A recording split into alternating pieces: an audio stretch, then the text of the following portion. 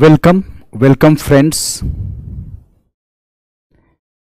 We are going to start history optional, and today I will give you an overview of history as an optional. Fine. So I'm going to right you know give you an overview of history as an optional subject. आप मुझे देख रहे हैं ये सबूत है it's a proof it's evidence that you are interested in history as an optional and believe me it's a very good decision very good decision taking history as an optional. Why I consider it as a good decision? Because now, after 2013, you have a totally new scenario. You know this? So when you prepare history as an optional subject, after 2013,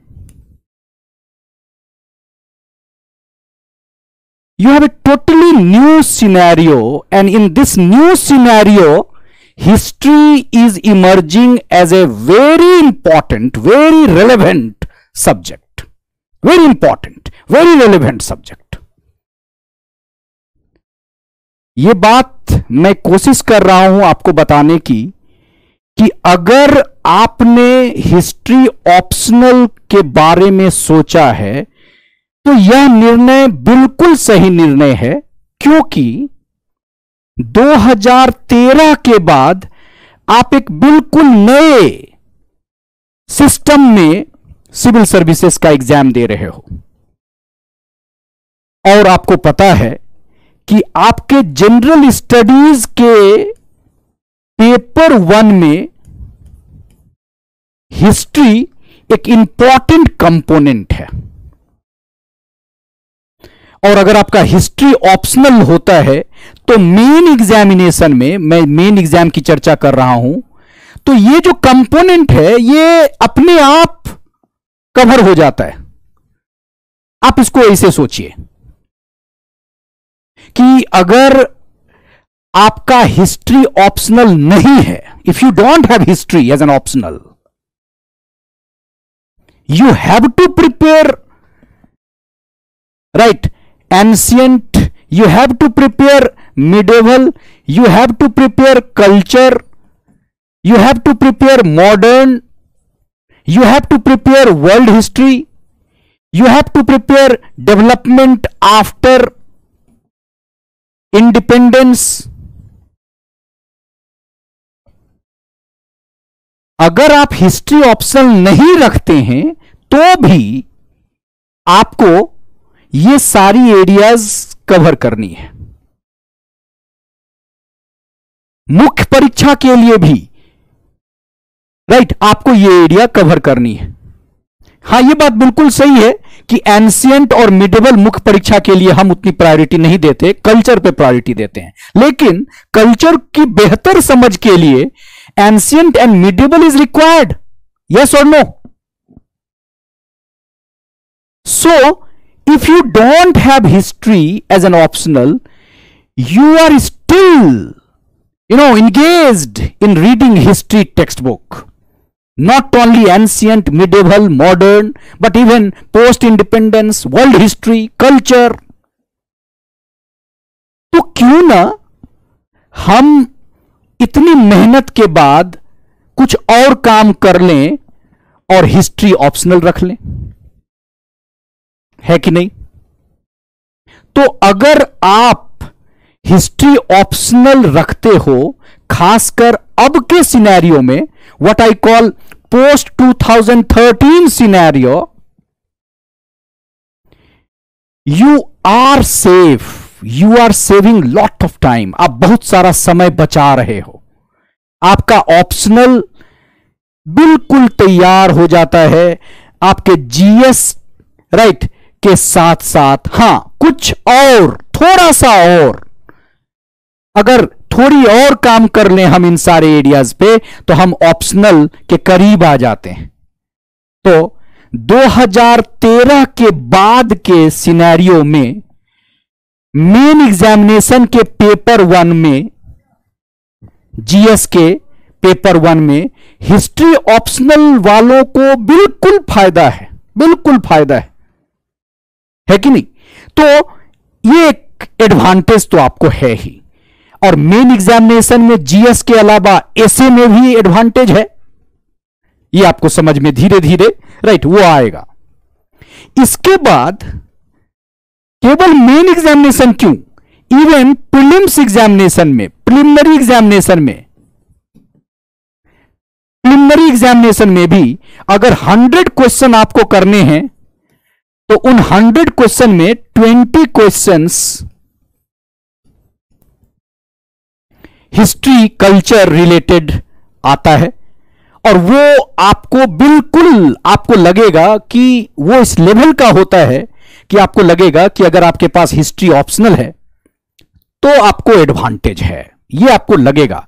मैं ये नहीं कहता हूँ कि history optional केवल रख लेने से वो सारे क्वेश्चंस आपके हो जाएँगे, लेकिन हाँ हिस्ट्री ऑप्शनल रखने से, उस पर काम करने से, आप ज़्यादा बेहतर तरीके से उन सारे क्वेश्चंस को हैंडल कर पाएँगे।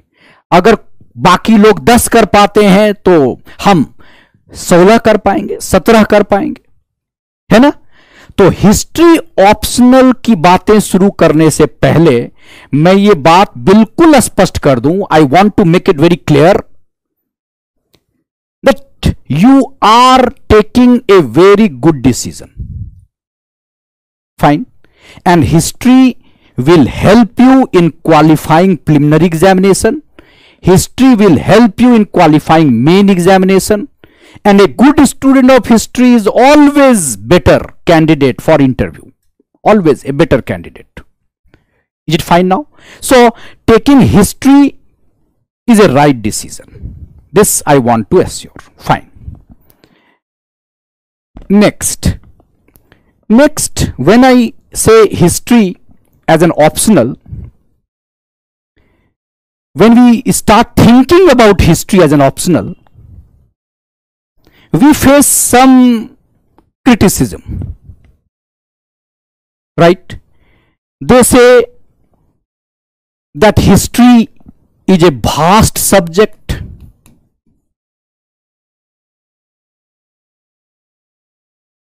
Fine.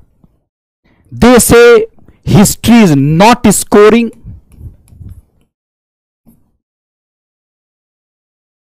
history is not scoring and they say number 3 right history need cramming history need cramming तीन बातें कही जाती है अगर आप हिस्ट्री ऑप्शनल के बारे में सोचना शुरू करते हो तो क्या क्या तीन बातें कही जाती है? कि हिस्ट्री का सिलेबस बहुत लंबा चौड़ा है। बहुत बड़ा है। दूसरी बात कही जाती है, अरे स्कोरिंग नहीं है। इट्स नॉट स्कोरिंग नहीं आते अंक इसमें। 300 तो लोग क्रॉस ही नहीं करते। और तीसरी बात कही जाती है कि आपको बहुत कुछ याद करना पड़ेगा। डेट्स याद करना पड़ेगा। It needs cramming. History needs cramming. Fine क्या लगता है आपको? क्या लगता है आपको कि ये बातें सही है? देखिए, हम लोग विचार करते हैं। हिस्ट्री का सिलेबस भास्ट है। हाँ, है। पेपर वन और पेपर टू एक लंबा चौरा सिलेबस है। पेपर वन में 24 टॉपिक दिया हुआ है। पेपर टू में भी 24 से ज़्यादा टॉपिक दिया हुआ है। So you will feel that syllabus is vast see in history syllabus again like other optional we have two paper in history we have two paper. We have paper 1 then we have paper 2 and in paper 1 also we have section a then we have section b. In paper 2 also we have section a then we have section b fine हर एक optional में दो paper होता है। जैसे बाकी optional 500 अंक का होता है। उसी तरीके से हिस्ट्री भी है। इसके भी दो पेपर हैं। पेपर वन और पेपर टू और पेपर वन और पेपर टू के भी दो भाग हैं। अलग अलग दो भाग हैं। पेपर वन का जो पहला भाग है, वो डील करता है एंशियंट इंडिया से। Ancient India history of India ancient period paper one का जो दूसरा भाग है, वो मिडेबल इंडिया से डील करता है। मिडेबल इंडिया ठीक है? तो हिस्ट्री के पेपर वन में कौन कौन दो खंड हैं? पहला और दूसरा। एंशियंट हम पढ़ेंगे सेक्शन ए में सेक्शन ए के लिए, और मिडिवल हम पढ़ेंगे सेक्शन बी के लिए। ये क्यों ज़रूरी है जरा समझते हैं। एक्चुअली होता क्या है कि पेपर वन में राइट right, चार क्वेश्चंस अगर होंगे एंसेंट इंडिया में सपोज़ एक दो तीन चार फिर मिडेबल इंडिया में चार क्वेश्चंस होंगे। सपोज़ पाँच छ सात आठ है ना? तो एक्चुअली हमें दोनों सेक्शन मिला के लिखना होता है। ठीक है? ऐसा नहीं कि हम केवल एक सेक्शन से सारा लिख देंगे, हमें दोनों सेक्शन से। And then one more thing question number one of ancient India question number five of medieval India पहला जो क्वेश्चन होता है, वो दोनों कंपलसरी होता है। और जो पहला क्वेश्चन होता है एंसेंट का, वो मैप बेस्ड होता है। मैप से साइट्स दिए हुए होते हैं, मैप दिया हुआ होता है। और आपको पहचानना होता है, उसके बारे में तीस शब्द लिखना होता है। ठीक है? तो हिस्ट्री के पेपर वन में दो सेक्शन है एंशियंट और मिडेबल और दोनों सेक्शन को आपको, राइट, टच करना होता है। हाँ, कोई एक सेक्शन पे ज़्यादा क्वेश्चन आप लिख सकते हैं। ठीक, और पहला और पांचवा मैंने कहा इट्स कंपल्सरी फाइन तो पेपर वन और पेपर टू एंशियंट और मिडेबल क्लियरली सब कुछ जो भी है, सब कुछ सिलेबस में लिखा हुआ है. ट्राई टू अंडरस्टैंड मैं कोशिश कर रहा हूँ आपको कहने की, कि चूँकि सब कुछ डिटेल में लिखा हुआ है, इसलिए सिलेबस कैसा दिखता है? भास्ट दिखता है. मेरी बात समझ रहे हैं आप? चूँकि सब कुछ डिटेल में लिखा हुआ है एंशियंट और मिडेबल में क्या क्या पढ़ना है, सब कुछ डिटेल में लिखा हुआ है, इसलिए यह सिलेबस भास्ट दिखता है। और इसका फ़ायदा क्या है? फ़ायदा यह है कि क्वेश्चन डायरेक्टली उसी सिलेबस में लिखे हुए टॉपिक से आते हैं। तो अगर आप उस सिलेबस को ठीक से कर लें तो मैक्सिमम क्वेश्चन आप राइट कर पाएँगे। तो सिलेबस भास्ट ज़रूर है, लेकिन डिटेल्ड है। सिलेबस भास्ट ज़रूर है, लेकिन इतना कुछ लिखा हुआ है सिलेबस में कि डायरेक्टली उसी से क्वेश्चंस राइट पूछे जाते तो यह फ़ायदा है हिस्ट्री का, कि सिलेबस में सब कुछ लिखा हुआ है डिटेल्ड है। तो मैं कहने की कोशिश कर रहा हूँ कि सिलेबस भास्ट नहीं है, सिलेबस डिटेल में है। यह तो और अच्छी बात है ना? सब कुछ डिटेल में। सपोज़ इंडस वैली में आपको क्या क्या पढ़ना है? टॉपिक लिखे हुए है। कि नहीं? मॉडर्न पीरियड में क्या क्या पढ़ना है? टॉपिक लिखे हुए हैं। आपको वो सब तैयार कर लेना है।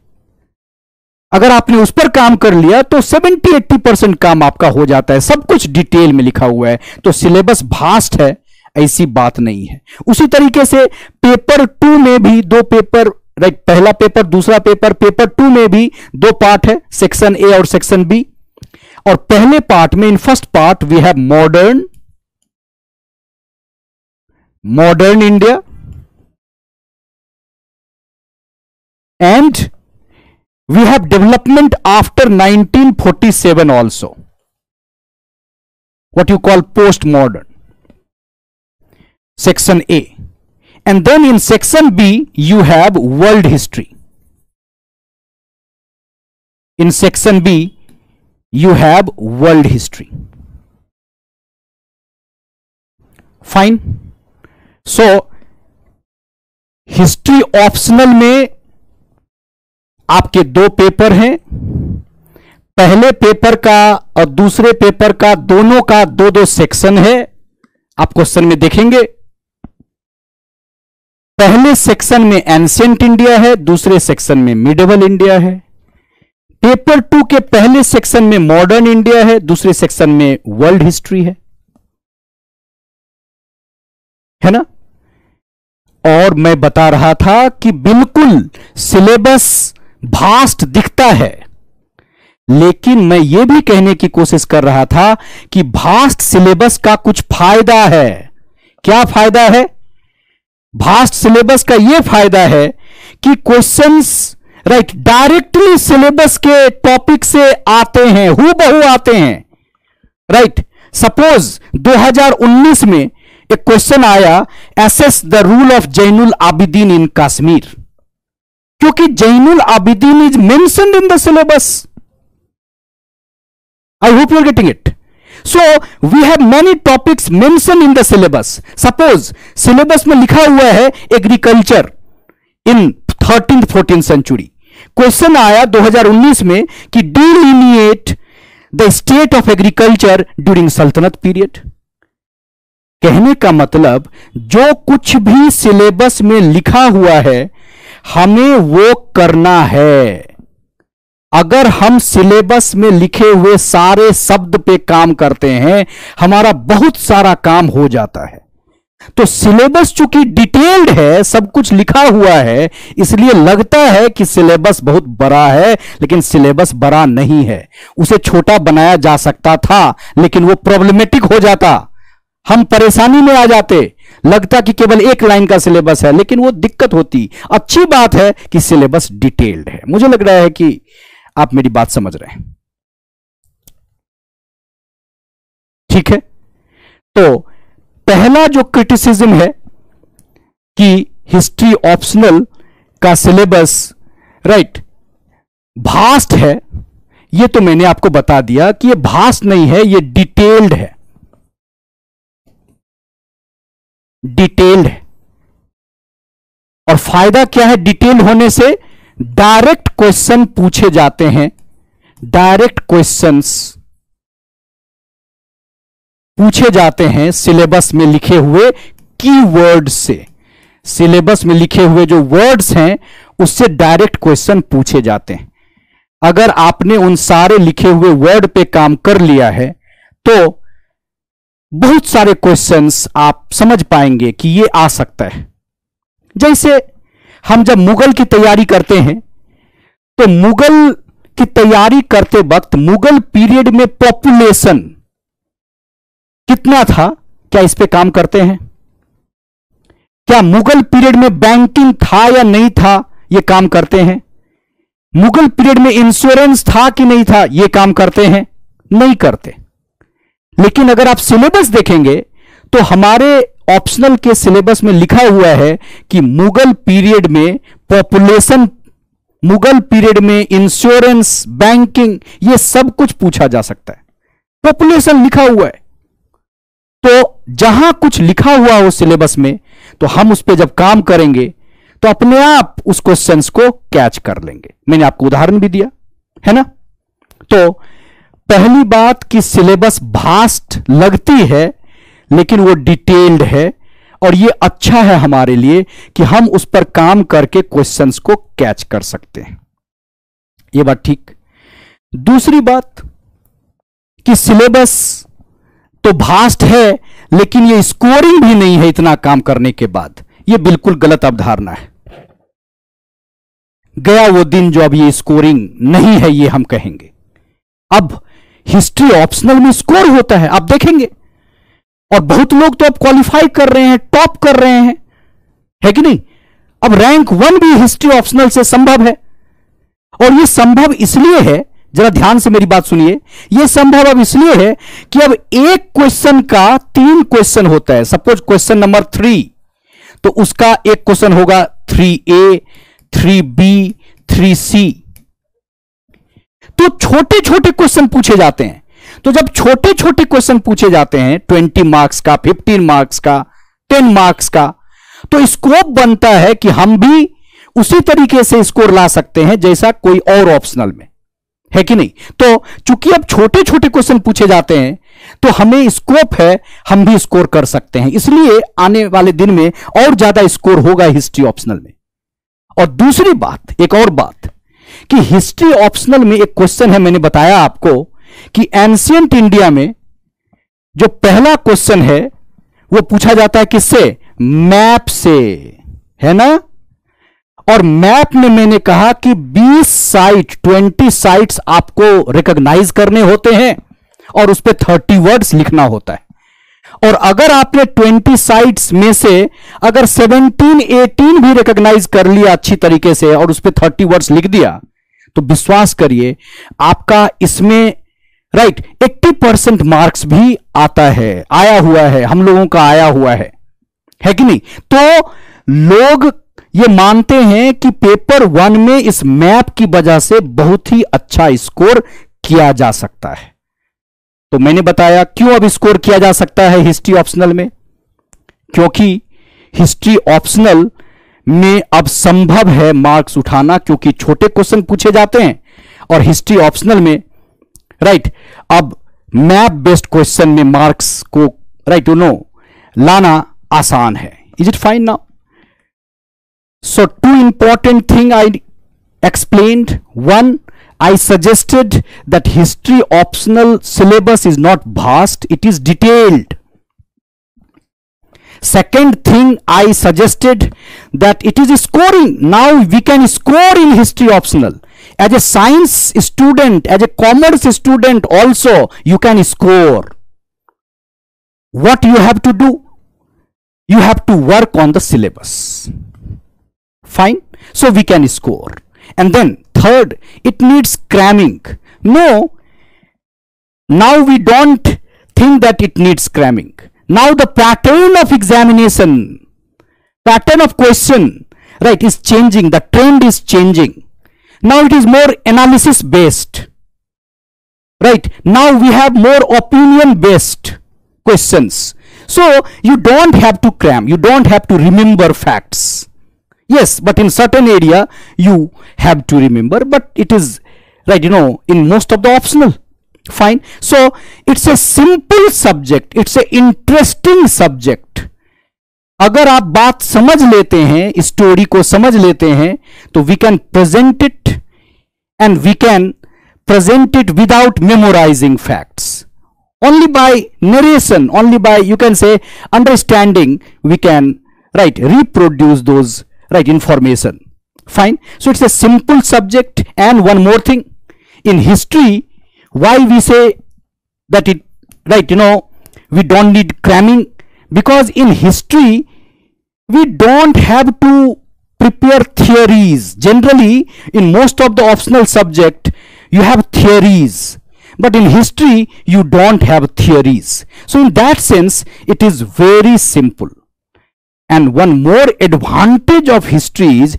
it is static आप विश्वास करिए इस बात को अगर आपने 2022-23 से तैयारी करके इसको प्रिपेयर कर लिया तो आने वाले दो, तीन, चार सालों में इसमें कोई चेंज नहीं होने वाला है।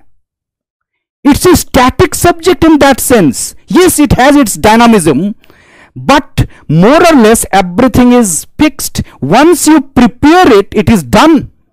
आने वाले दिन में आप जीएस पे काम कर सकते हैं, बाकी एरिया पे काम कर सकते हैं, लेकिन इस पे काम करने की ज़रूरत नहीं है। फाइन तो मैंने कहा कि हिस्ट्री भास्ट सब्जेक्ट नहीं है। मैंने कहा कि हिस्ट्री स्कोरिंग सब्जेक्ट है। मैंने कहा कि हिस्ट्री में याद करने की ज़रूरत नहीं है बहुत कुछ। राइट हिस्ट्री एक सिंपल सब्जेक्ट है इंटरेस्टिंग सब्जेक्ट है स्टैटिक सब्जेक्ट है। एक बार आपने कर लिया तो कर लिया।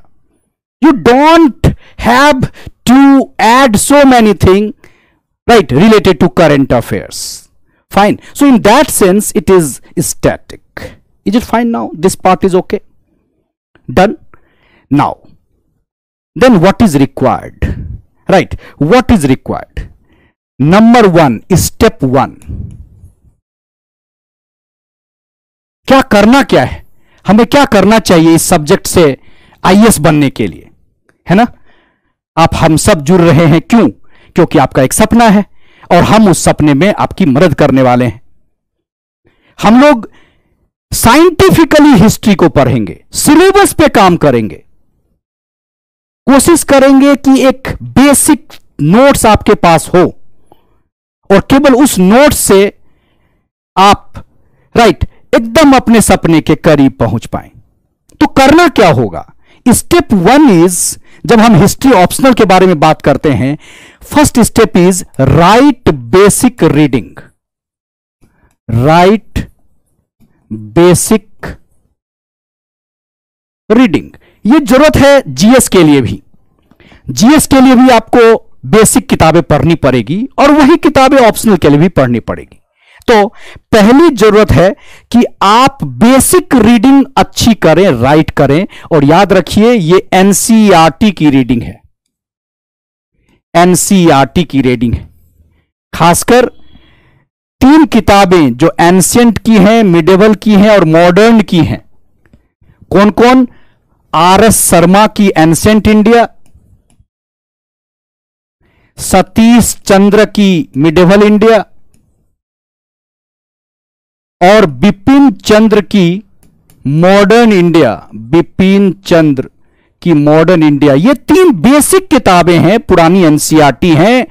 आप सब इसको, राइट, पढ़ रहे होंगे।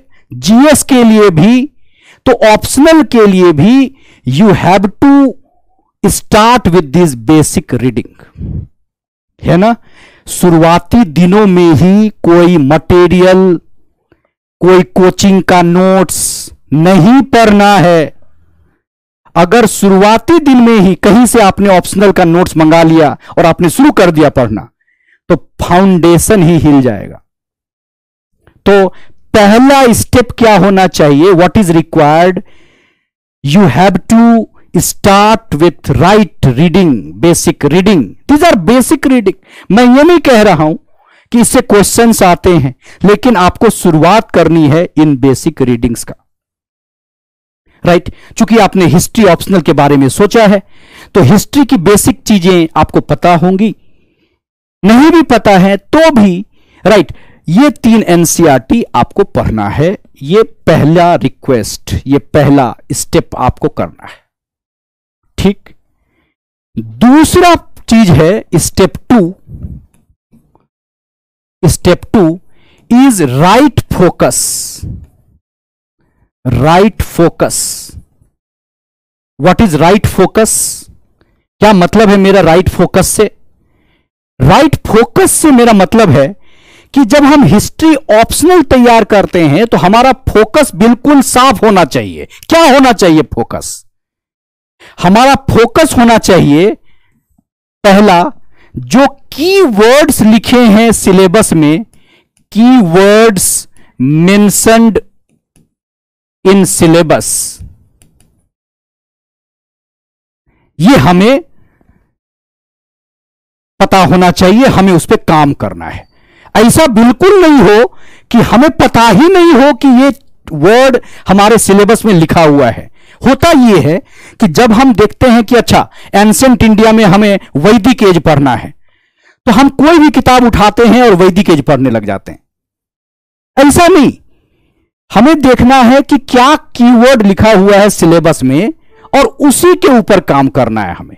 हमारा फोकस होना चाहिए कीवर्ड मेंशन इन सिलेबस फिर, हमारा फोकस होना चाहिए last year question last year का क्वेश्चन अगर हम लास्ट ईयर का क्वेश्चन नहीं देखेंगे तो हमें पता कैसे चलेगा कि ये टॉपिक एक्चुअली हमें करना कैसे है? क्या छोड़ना है? ऐसा नहीं कि हिस्ट्री ऑप्शनल रखा है, इसका मतलब जो कुछ भी अवेलेबल है वो कर लें, ऐसा नहीं होता। तो जब हम की वर्ड्स देखते हैं सिलेबस का जब हम लास्ट ईयर का क्वेश्चंस देखते हैं तो हमें पता चलता है कि हिस्ट्री ऑप्शनल के लिए हमें किन किन चीज़ों को फोकस करना है। मेरी बात समझ रहे हैं? हम एक एग्जामिनेशन की तैयारी करेंगे यूपीएससी के कोर्स की तैयारी करेंगे तो क्या क्वेश्चन पूछा है, क्या सिलेबस है यह हमें पता होना चाहिए यह हमारा फोकस एरिया होना चाहिए। और तीसरी बात फोकस हमारा होना चाहिए, जब भी कभी मैप बेस्ड साइट हम देखते हैं तो हमें पता होना चाहिए कि ये कहाँ है, क्यों फ़ेमस है। हमारा फोकस मैप होना चाहिए। तो अगर हमारा राइट फोकस होगा तो हम ज़रूर अच्छा कर लेंगे। फाइन इसके बाद स्टेप थ्री क्या है? स्टेप थ्री है स्टेप थ्री है कि हमें पता होना चाहिए कि राइट टेक्स्ट क्या है। राइट टेक्स्ट क्या है हिस्ट्री ऑप्शनल के हिसाब से राइट टेक्स्ट क्या है हिस्ट्री ऑप्शनल के हिसाब से according to the recent trend आजकल जो क्वेश्चन पूछा जा रहा है, वो कहाँ से पूछा जा रहा है? अगर आपको पढ़ाया जाए कि 1988 में ये क्वेश्चन पूछा गया था राइट 2007 में क्वेश्चन पूछा गया था, वो ज़रूरी है।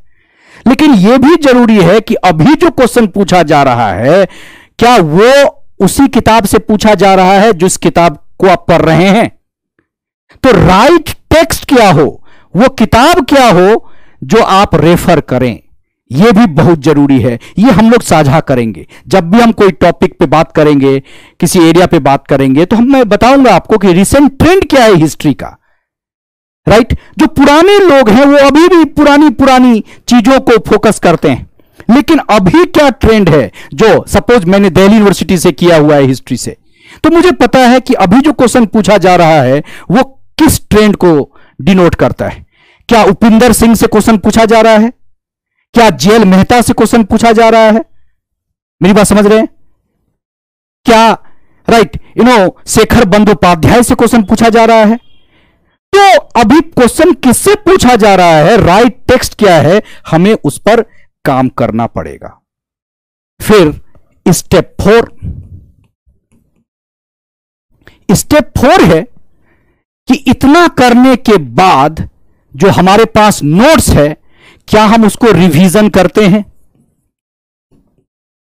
क्या उसका रिवीजन करते हैं? अगर इतना करने के बाद हम रिवीजन करते ही नहीं हैं we don't believe in revision, we only believe in expansion, then everything is meaningless. सब कुछ बेकार है फिर। तो इतना करने के बाद हमें रिवीजन भी करना पड़ेगा। होता यह है कि हम जो इतिहास के विद्यार्थी होते हैं स्टूडेंट होते हैं वो फैलाते रहते हैं चीज़ों को एक्सपेंड करते रहते हैं। कभी रुकते नहीं है कभी कंसोलिडेट नहीं करते। तो दो वर्ड है हिस्ट्री में कंसोलिडेशन एंड एक्सपेंशन तो एक्सपेंशन के साथ अगर कंसोलिडेशन आपने नहीं किया तो सब कुछ बेकार हो जाएगा। तो हम उसको कंसोलिडेट भी करेंगे। तो रिवीजन इज़ ऑल्सो मस्ट दो तीन रिवीजन आपके नोट्स का होना चाहिए। और फिर स्टेप फाइव है कि हम प्रैक्टिस करेंगे टेस्ट पेपर करेंगे। टेस्ट पेपर हम लिखेंगे क्वेश्चन को। आंसर को लिखेंगे। बहुत कुछ जानते हैं आप मनसबदारी सिस्टम के बारे में। बहुत कुछ जानते हैं आप इटालियन यूनिफिकेशन के बारे में। लेकिन जब तक आप 150 शब्द में 250 शब्द में इसको लिखेंगे नहीं तो आप रिज़ल्ट नहीं दे पाएँगे। तो स्टेप फाइव है लिखना। अगर हम लिखेंगे, तभी हम क्वालिफाई कर पाएँगे। ठीक है? तो हिस्ट्री का सिलेबस भास्ट नहीं है। हिस्ट्री का सिलेबस स्कोरिंग है हिस्ट्री से हम स्कोर कर सकते हैं।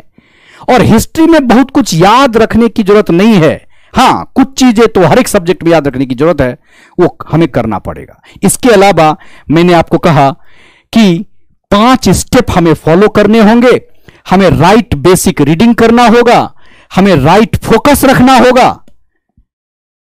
फिर हमें राइट टेक्स्ट पढ़ना होगा। This is very important recent trend के अनुसार रिसेंट ट्रेंड के अनुसार हमें टेक्स्ट पढ़ना होगा और फिर रिवीजन करना पड़ेगा और टेस्ट पेपर हमें क्वेश्चंस लिखने होंगे क्वेश्चंस के प्रैक्टिस करने होंगे।